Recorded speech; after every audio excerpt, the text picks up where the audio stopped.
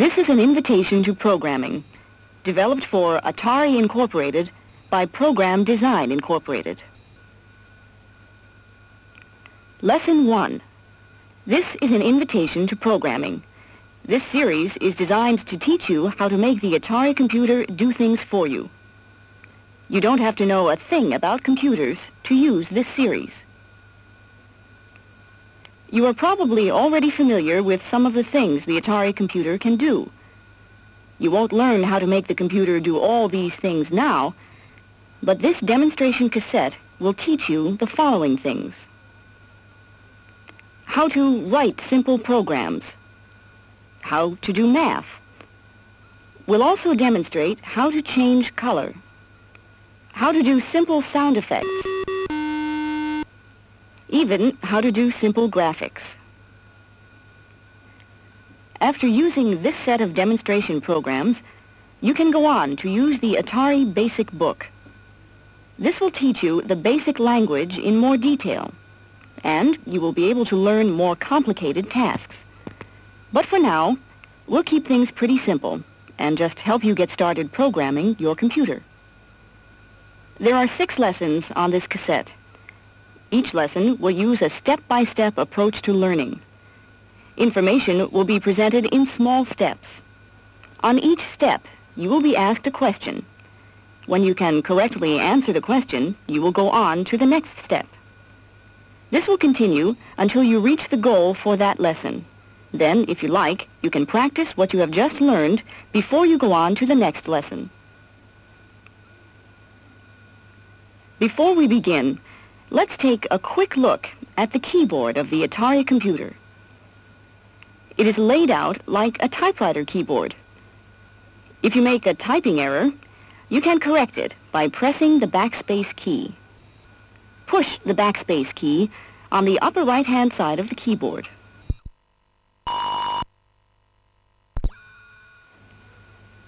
Another important key is the quotation mark. It is over the 2 on the keyboard. To get the quotation mark, push either Shift key and push the 2 just as you do on a typewriter. Press it now.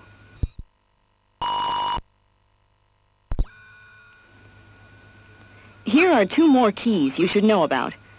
The one flashing with the Atari symbol on it makes the letters reverse. If you accidentally push it and get reverse letters, Push it again, and you will get normal letters. Here is the break key.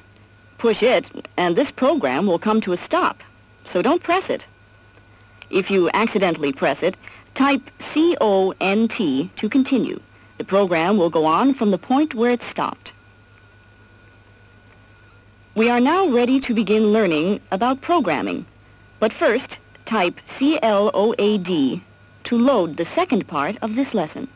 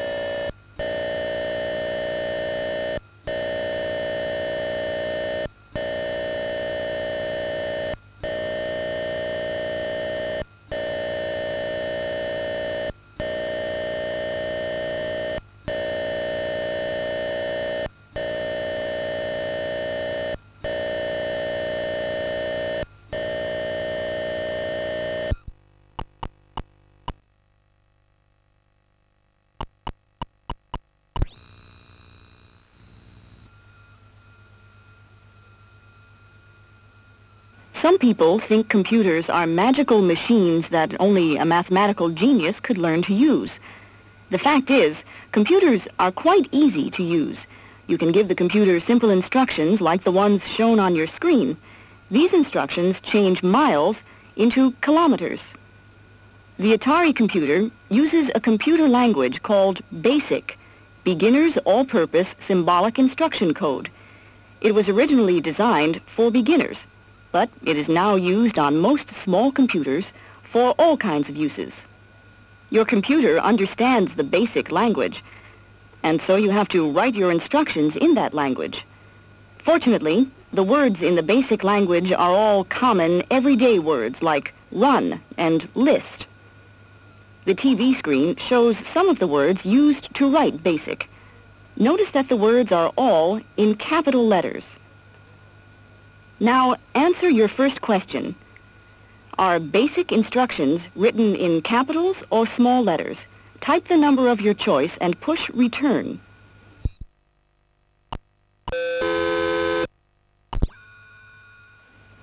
One of the things you want the computer to do is put words on the TV screen as we've been doing. To tell the computer to do this, you will use your first basic word, print. Here's how it works.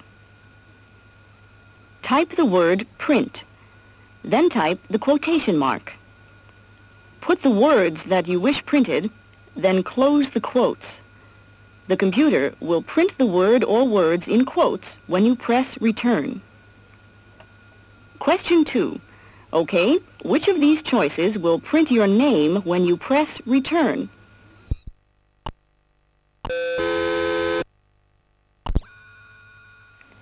A computer cannot really think.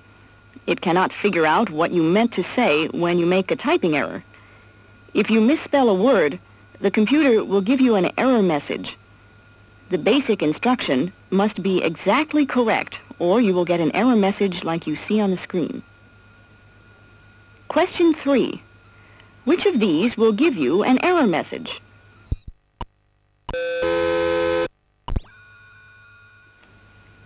Question 4. Which of these will print the word hello?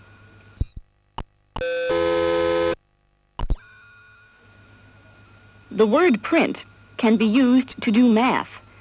If you type print 2 plus 2, the computer will add 2 plus 2 and print the result, 4. Question 5. What will this print?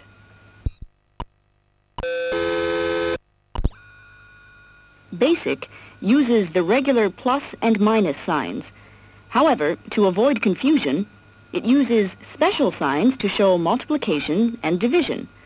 Multiplication is shown with a star. Division is shown with a slash.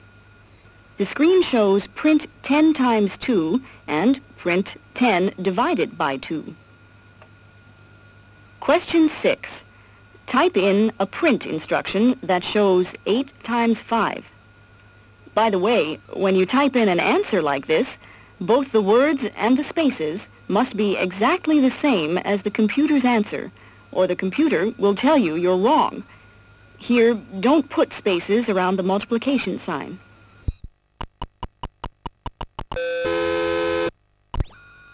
This is the end of Lesson 1.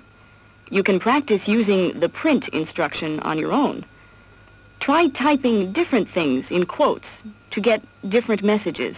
Then type CLOAD to load Lesson 2.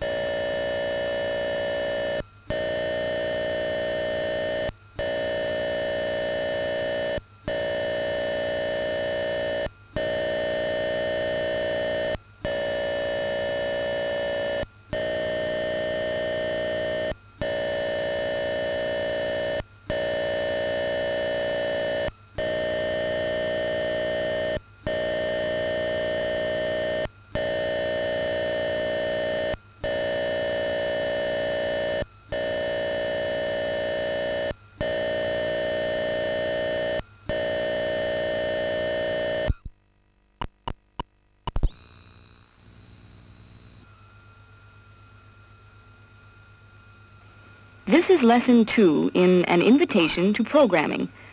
As you've seen, your Atari computer can be used to solve problems, to produce sounds, and to produce pictures and colors. However, in order to do any of these things, the computer needs a set of instructions. These instructions lay out for the computer everything it must do. If you give the computer the right steps to follow, you'll get the results you want. The instructions you give the computer are like a recipe. You have to tell the computer all the things it must do, and also the order in which it should do all these things. You have to go into a lot of detail for the computer. Computers don't really think, and so if you leave out steps or put them in the wrong order, the computer will not fill in the gaps for you. Question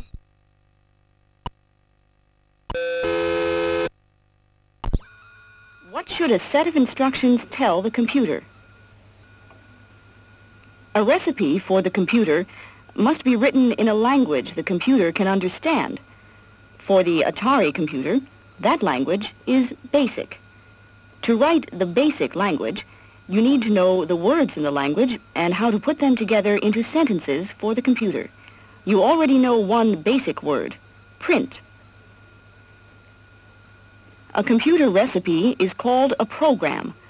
A computer program is a series of steps that the computer will follow in order.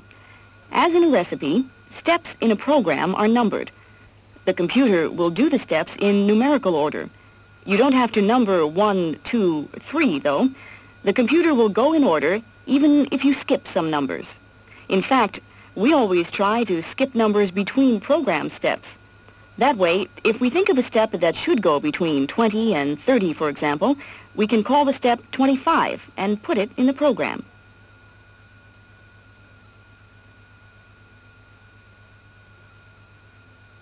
Question 2. Which numbers could you use for program steps?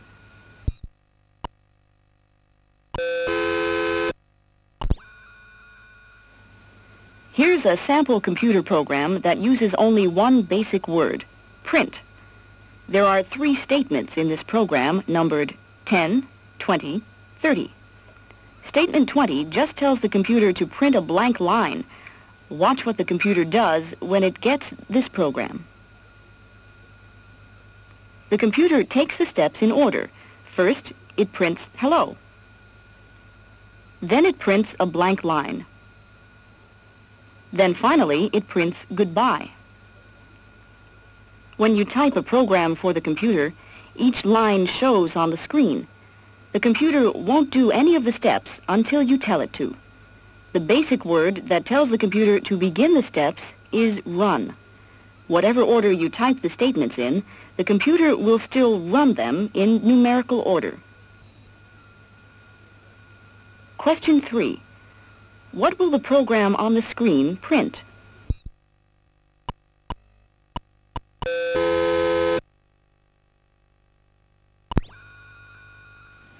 Now we'll load the next part of Lesson 2. Type CLOAD to load the second part of this lesson.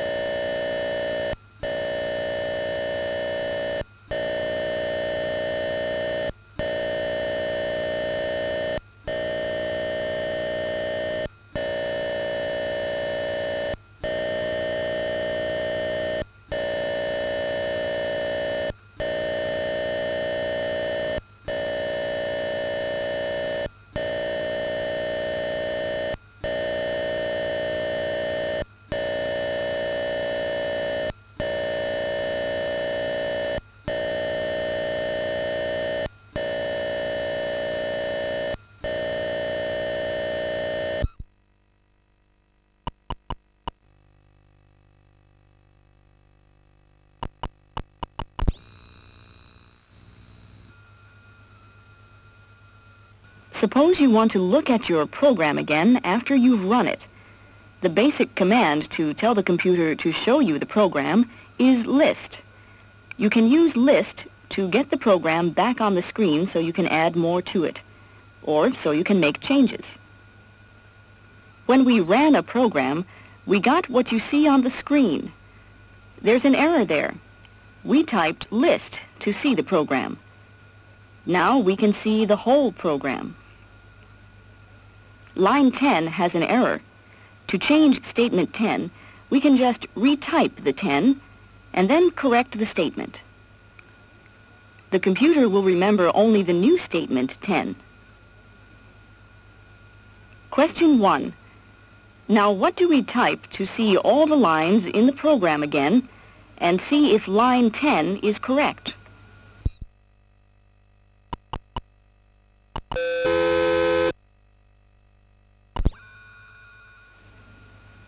Now here's what you'd see if you typed list. Even though we typed line 10 last, the computer listed it in the correct place in numerical order. The list and run commands tell the computer to show you a program or to follow the steps. They aren't part of the program, so they don't need line numbers. If you put run or list in your program, you won't be happy with the results. Suppose you want to get rid of a line completely. Then just type the number and press return. The computer will forget the line. Here, we type 10 and hit return. Now, we list the program. 10 is gone. When you're through with the program, you want to get it out of the computer's memory so you can work on a new program. To do this, type the word new don't use a line number with new. It's not part of a program. Here, we were working on a program. Then we typed new. Next, we'll list the program. What do you think the computer will show? The computer shows no program in its memory anymore. Question 2. What do you type to remove this line from a program?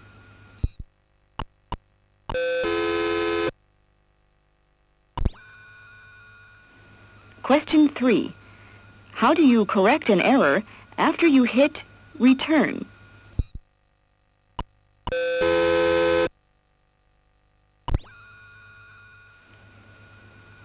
Question 4.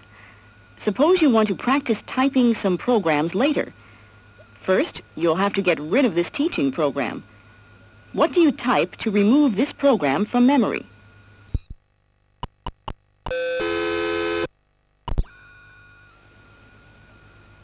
That's the end of Lesson 2. You can write a few programs of your own if you like. Then go on to Lesson 3 to learn more basic words and to see how they're used in programs.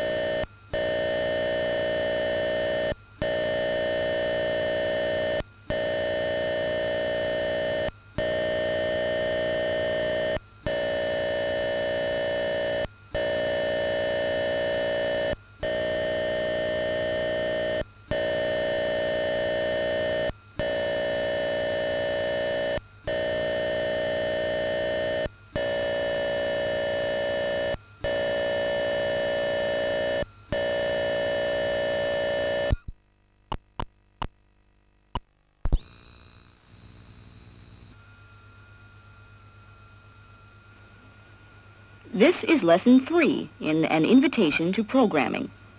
In this lesson, you will learn about one technique that will expand the kinds of tasks you can get the computer to handle. You'll also learn how to get the computer to ask questions and get responses from people. First, you need some information about a computer's memory. A computer's memory is a little like a set of post office boxes.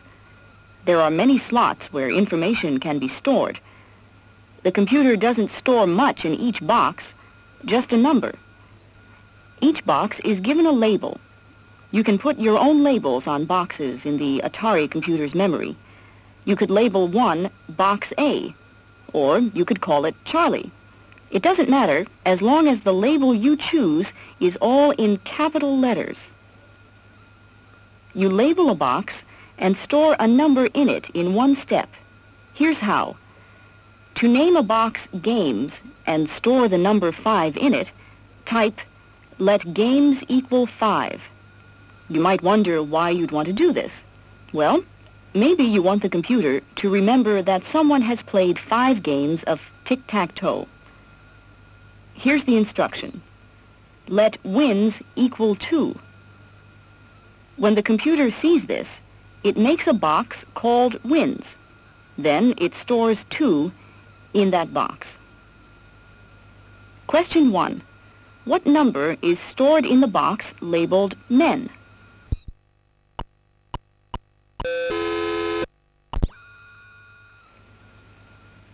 Question 2. Write an instruction to put the number 10 in a box labeled cars.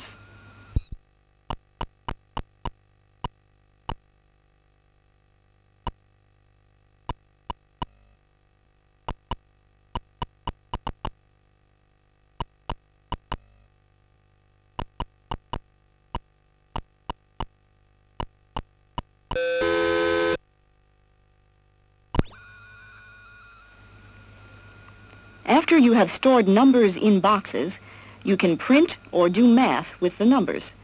Here, we've stored a number in a box called cars. Now, line 20 tells the computer to print not the label of the box, but the number stored there. Let's run this. The computer printed the number in the box 8. Question 3. What number does this program print?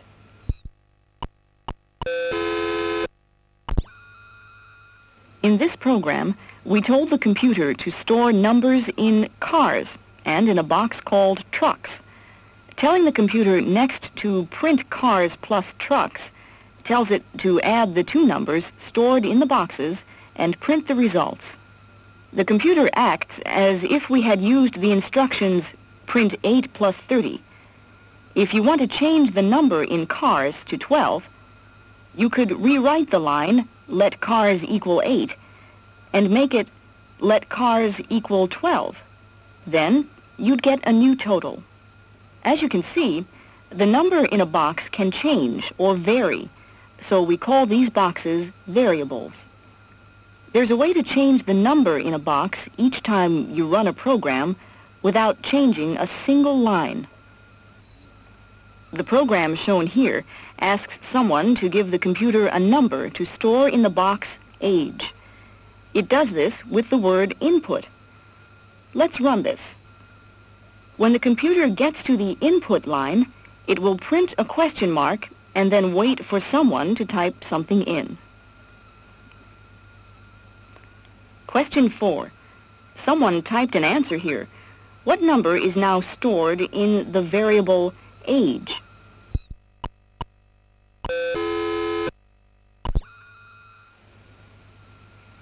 Question 5.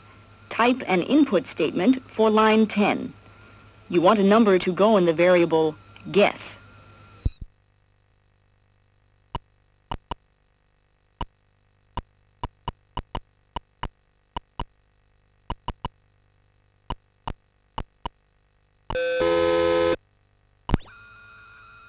A computer program can do several things with the numbers that are input into a variable. Here is a sample program. Question 6. What line asks someone to type in the interest rate?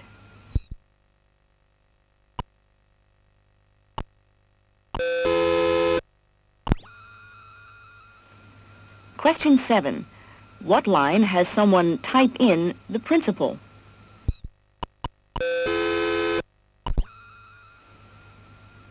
Question 8. What line will figure the interest on this loan?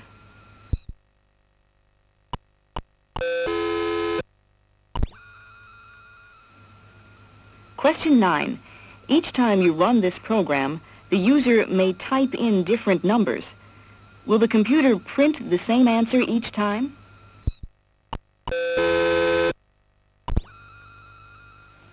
Okay, that's the end of Lesson 3. Try writing some programs yourself now. You might try to write a program that asks someone to type in a number and then multiplies that number times itself and prints the result. Remember to type new before you begin.